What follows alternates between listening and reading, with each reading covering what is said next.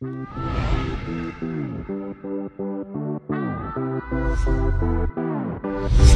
you.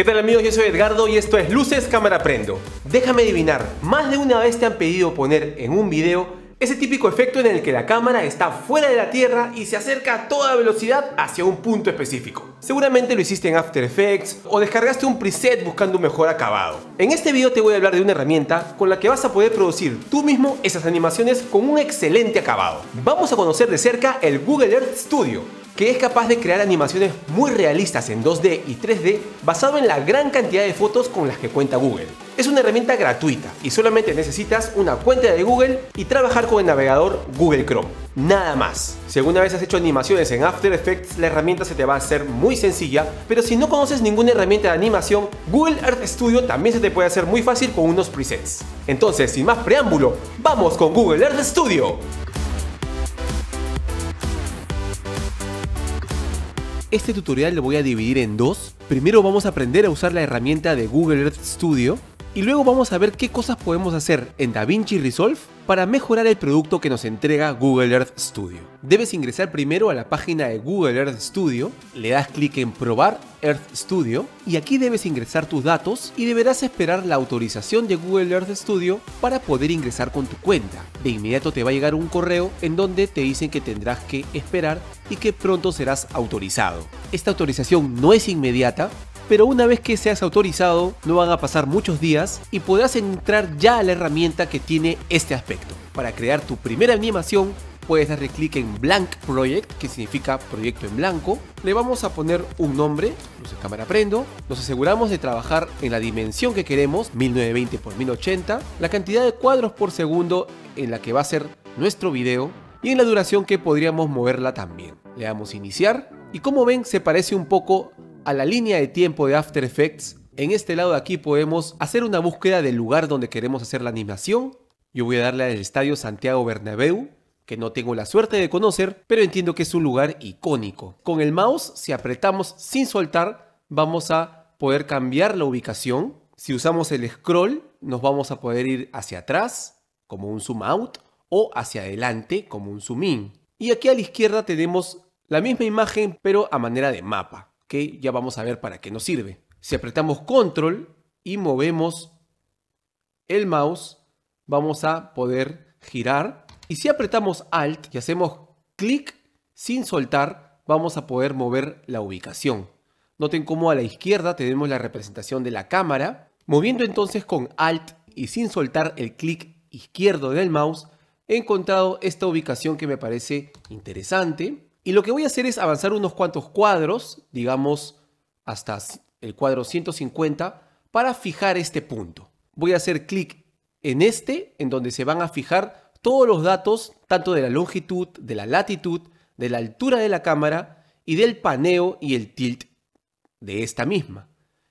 Hasta aquí no ha pasado nada, voy a irme al inicio y voy a hacer un movimiento que me aleje del estadio de esta manera y vemos que de inmediato se pone en amarillo, lo que significa que me está sugiriendo que aquí apriete para que se creen estos nuevos nodos.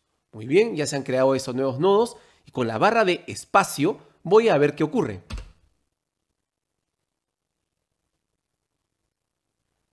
Listo.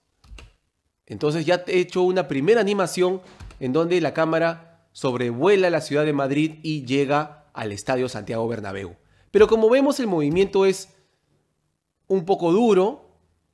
Paralelamente vemos acá a la izquierda cómo se fija el, el, punto de inicio y el punto de la derecha. Pero les decía que el movimiento es un poco duro, entonces voy a seleccionar todos los nodos y le voy a dar botón derecho a cualquiera de ellos y le voy a dar clic en Auto Ease.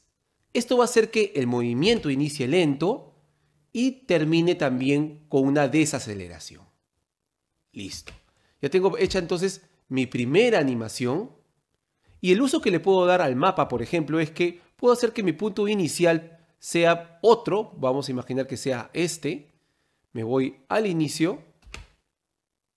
Y ahora está viniendo desde otro punto. Vamos a dejarlo así de simple para pasar al siguiente paso, que sería ya hacer el render. Una vez que me gusta lo que he visto, le doy render. Entonces en esta pantalla de render se me muestra un previo ya de mejor calidad en el que estoy viendo mi animación. Este crédito de Google Earth va a estar siempre presente, pero podemos mover la ubicación de este, pero yo lo voy a dejar abajo derecha. Podemos cambiar el nombre, podríamos no renderear todo el proyecto, toda la línea de tiempo, sino que podríamos, por ejemplo, dejar de renderar en el frame 174, ya que no hay más movimiento. Una vez que ya he definido el espacio que voy a renderear, tengo el nombre, le voy a dar Start. Aquí les recomiendo que no se pongan a hacer otra cosa, no minimicen y se pongan a hacer otra cosa porque el proceso se va a detener. Yo me puse a editar, en otro momento abrí el Firefox y en ambas situaciones este proceso se va a detener. Lo que primero se hace es un render y luego la herramienta va a generar una secuencia de fotos en formato JPG que se van a descargar en mi máquina. Y una vez que termine el proceso ya vamos a tener el archivo descargado en nuestra máquina en formato zip. Y dentro de él hay una secuencia de archivos JPG. Lo que voy a hacer con el archivo zip es desempaquetarlo en una carpeta y ya en DaVinci Resolve me voy a buscar mi carpeta. Dentro de la carpeta ejemplo 1 tengo otra carpeta que se llama Footage y ya DaVinci Resolve ha unido esos JPEG en un solo archivo de video. Como ven, ya lo tengo listo. ¿Qué cosa puedo hacer para darle un poco más de realismo a esta animación? Yo identifico básicamente tres cosas que se pueden hacer. La primera es jugar un poco con el color y llevarla hacia un color un poco más cálido. En las curvas podríamos quizás bajar un poco los tonos medios, levantar un poco los oscuros, y ahí ya hemos hecho algo. En un segundo nodo podría, por ejemplo, crear una Power Window y hacer una viñeta. Listo, ya está hecha la viñeta. Antes de esto voy a crear un nuevo nodo y aquí voy a irme a esta herramienta que dice tonos medios. En realidad es la nitidez de los tonos medios, la cual la voy a disminuir a menos 60 y así estoy haciendo un poco más suave la animación.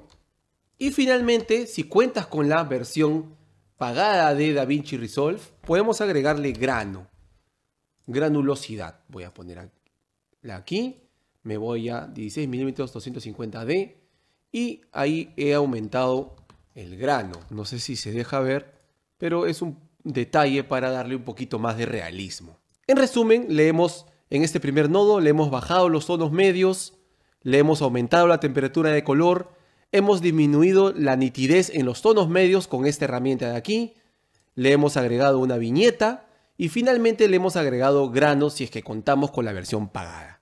Pero si quieres tener excelentes resultados con unos pocos clics, te recomiendo que debajo de Blank Project te vayas a Quick Starts. Aquí te van a hacer una serie de sugerencias que te pueden interesar.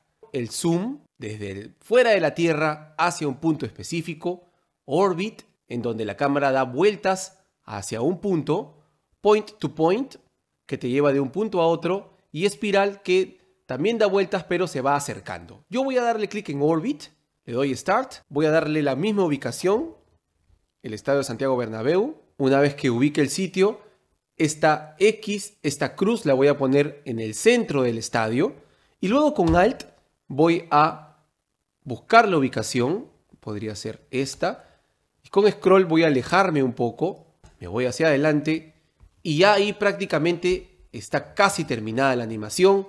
Aquí podría, por ejemplo, alejarme un poco más y la cámara está un poco más lejos. La altura también podría variarla y podría ir en dirección contraria. Me gusta la animación, me pregunta en cuánto tiempo quiere que le dé una vuelta entera, le voy a decir que solamente lo dé en 20 segundos y voy a hacer check nuevamente y aquí ya prácticamente está terminada mi animación. Me voy a render y se repite el mismo proceso que les mostré hace un momento. Quiero mostrarles ahora un ejemplo en donde la cámara sigue un objetivo específico. Me voy a ir a buscar al mismo estadio Bernabéu y ahí donde está la cámara, encima del estadio, le voy a dar botón derecho y Set Camera Target. Si saco la cámara de ese sitio, veo que ya se ha generado un punto que será el objetivo de la cámara. A donde yo mueva la cámara, esta va a siempre mirar ese objetivo. Es súper interesante, por ejemplo, podríamos hacer algo así. Voy a colocarme aquí, creo mis keyframes, voy a avanzar mis keyframes y ahora voy a poner la cámara de este lado. Le doy clic a agregar keyframe, vamos al comienzo, le doy play y vemos cómo la cámara siempre sigue el objetivo que yo le he indicado. Voy a seleccionar los keyframes, botón derecho, Auto Ease y miren qué interesante este movimiento.